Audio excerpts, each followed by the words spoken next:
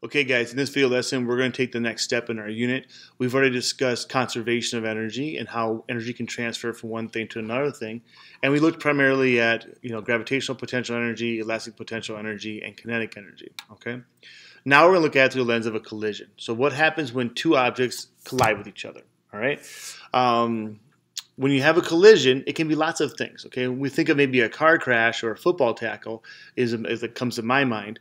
Um, but a collision is also a dancer landing on the ground, or bouncing a basketball, or hooking two crane cars together, or a slap shot in hockey, or even just drumming off of a off of the drumsticks. Those are all collisions where two different objects are hitting each other. Now, one might be stationary and one might be moving to start, but there's still some sort of contact there that creates that collision. All right.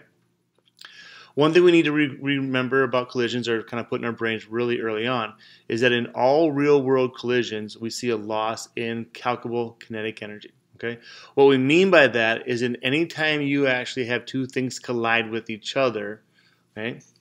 We, we somehow lose some kinetic energy. So it goes someplace else. Okay, we put this in quotes because it isn't actually lost. It's not like the energy dissipates into our environment. We don't know where it goes. We can identify where it goes, but we don't necessarily calculate um, where it goes. Okay, um, now within that parameters, there are two different types of real-world collisions. Okay, we give them two different names. We call them in inelastic collisions and then perfectly inelastic collisions, okay? And we're going to cover each one of these independently in our upcoming slides, all right? So let's get to it. So first thing we want to hit is an inelastic collision, all right? Now, inelastic collision doesn't mean it's rigid and doesn't mean it doesn't flex. It doesn't mean that, okay? So sometimes we see the word inelastic and we think of really solid, hard, that kind of stuff. Um, and actually, the opposite kind of happens here, where when you have an inelastic collision, the kinetic energy we're dealing with is lost and the object is going to deform, okay? So think about a car, okay? When a car collides with another car or a wall or a fire hydrant or a pole or whatever it hits, okay, some sort of accident, that car crumples up, okay? So you bend the metal, you crush the bumper, you the airbags go off, you know, things break, that kind of stuff. All of that crumpling absorbs some of the energy. Okay, so when we say that kinetic energy is lost, it's it's lost to this deformation of that object. Okay, it also generates heat because anytime you bend metal, that heats it up. There's going to be light coming off it. You can hear sounds coming off it. So there's lots of different places that the energy that we lose from kinetic goes into these other locations. Typically, we don't really care to calculate how much heat was formed or the, the energy that gets converted into light or sound.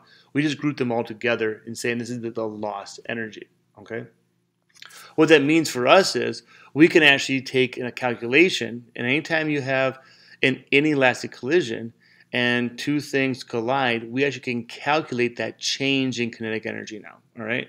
So what we're looking for is the kinetic energy before, the kinetic energy after, and we should see a change. We should see a loss, which means the kinetic energy after should be less than the kinetic energy before.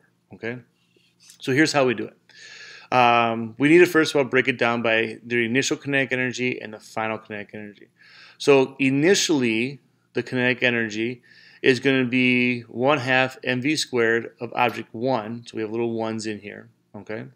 Because we have two objects, so we need to make sure that we're dealing with both objects at the same time, okay? Plus the kinetic energy of object 2. So this is object 1 right here. This is object 2 right here. Okay. And then we're going to set that comparative to kinetic energy final, which is the same exact things. It's object 1 and object 2. But notice how here we have f's for the velocities instead. Okay? We're going to assume for the most part that mass doesn't change. Okay.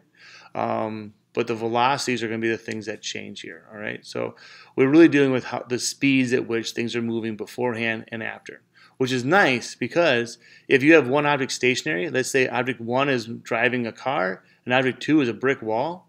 Well, object two is a brick wall; it's not moving, so there's zero velocity. So this part of the equation can go to a zero again.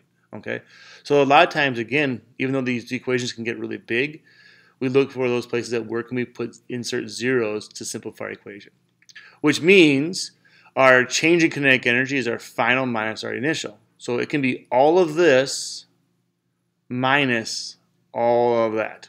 Okay, so it can get kind of long. Now, things we should be looking for. First of all, the answer should be negative. Okay, if it's an inelastic collision. All right, so we're looking for a negative result here or a negative change in energy. All right. However, if the answer is zero, okay, let's say you do all your math and you come up with a with a scenario where you have zero change in kinetic energy, then no energy is lost, which means this is not an inelastic collision. Okay, that would also mean that this is not a real world collision. Okay, so that if we get to a scenario where we have zero energy change, that means we're dealing with a hypothetical or just a theoretical scenario, and we'll actually talk about what those are uh, later on in this in our notes. Okay, so that's our inelastic collision. We lose energy, objects deform as they collide. Now, one thing they don't do is they don't stick together. Okay, so they hit and they bounce off each other. So that's a key piece because if we have a perfectly inelastic collision, what makes it perfect is that they still lose energy, and when they collide, they actually stick together. Okay, um, a great example of that is a train car rolling down and hitting another train car, and they latch to each other, and now they become one. Okay, so in that case, we have this sticking together. Okay, a football tackle would be another example of that, where you know you hit somebody, you tackle them, and you go to the ground together at the same time. That would be another example of things sticking together. Okay, um, a slap shot in hockey would not be because there's a collision between the puck and the stick, but afterwards the puck and the stick are separate from each other. Okay, so some examples for you. We still get a loss of energy. Same reasons: heat, light, sound, deformation. Um, what is used to hold those objects together takes that energy. Lots of things that cause that to happen. All right. Um, a car crash could be perfectly inelastic if they collide and the two cars kind of get mangled together. Then it would be perfectly inelastic. If they collide and bounce off each other, which is what normally happens, then it would be just inelastic. Okay, some different examples for you. In this case, there's really no need to calculate the change in kinetic energy, okay? Because you know that they stick together, right? So if they stick together, you know it's perfectly inelastic, all right? We may still ask you to do this. We may say, okay, this is a perfectly inelastic collision. Now tell us what the change in kinetic energy is here. So we may still ask you to perform that calculation. But if we are asking you the what type of collision is it, and um, to identify it, you don't need to do a calculation to do that. Okay. Um, for inelastic collisions, you do because anytime two things bounce off each other, you need to run the calculation to check to see if it's a zero. Okay. Um, but when they stick together, you know they can't be zero. It has to be perfectly inelastic. All right. Now, let's talk about that theoretical world. So, what happens if you have this ideal scenario where there is no deformation, there is no energy loss to thermal, there is no energy loss to bending or sound or light or those kind of things? What would we call that, or how would we identify that? Well, that's when we use the term elastic collision. All right. So remember, this is not the real world. We're now in theory land. Okay, this is all hypothetical in here. Um, we use this though because a lot of times in the real world, we're trying to get to the perfect world, right? So a lot of times we want our collisions to be as elastic as possible. Think of um, a golf club off of a golf ball, okay? They want all the kinetic energy from that golf club to be transferred into that golf ball. So they want to make the collision as elastic as possible. That way the golf ball leaves the head of the golf club as fast as it possibly can do that.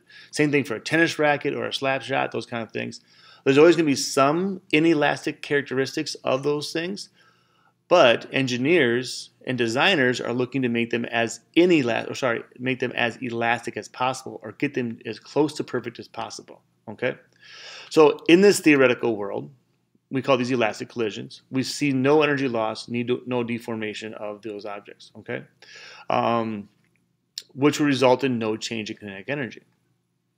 So this again kind of correlates back to our inelastic collision. So if we think it's inelastic, we get a scenario, and we do the calculations, and we come up with a zero, we now know it's not inelastic, but instead it's a theoretical problem that's elastic instead. Okay, so that's our decision making. Is if we do a solve, if we do solve for change in kinetic energy and we come up with zero, we now have an elastic collision and we have a theoretical scenario only. All right. Now, some things that come really close. Playing a game of pool is really close because you have really hard ceramic balls that hit against each other. There's very little deformation and there's very little kinetic energy lost in a game of pool. Now, we do hear it when they hit, so there is some, but it's very little. Uh, another one's um, high bouncy balls. High bouncy balls are great. Uh, you bounce them, you drop them, they come right back up to your hand.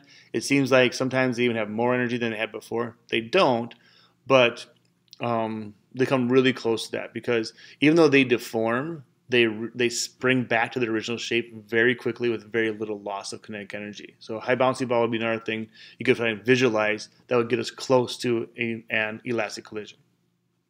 Now, last thing we want to talk about is this stuff in blue, and this is kind of important for us. We cannot use conservation of energy to solve for the mass or velocity of any real objects in a collision.